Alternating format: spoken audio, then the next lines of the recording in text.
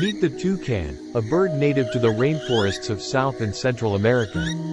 Known for its colorful beak, the toucan is a fascinating creature that has captured the imagination of people all over the world. Toucans are social birds that live in flocks and are very active during the day.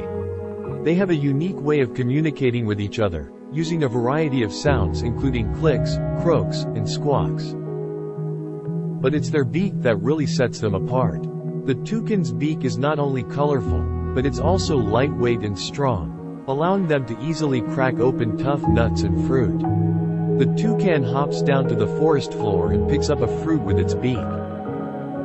But their beak isn't just for eating. It also plays a role in attracting a mate. During mating season, male toucans use their beaks to perform elaborate displays to attract a female. We see a male toucan performing a series of movements with its beak, trying to impress a female. Toucans are also important for the ecosystem. They play a key role in seed dispersal, helping to spread the seeds of the fruits and nuts they eat throughout the forest. We see a toucan perched on a tree, dropping a fruit and a seed falls to the ground.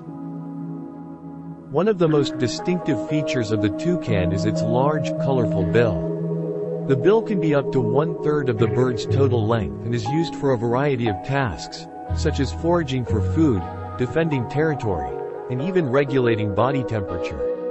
Toucans also have a unique tongue that is long, narrow, and frayed at the end.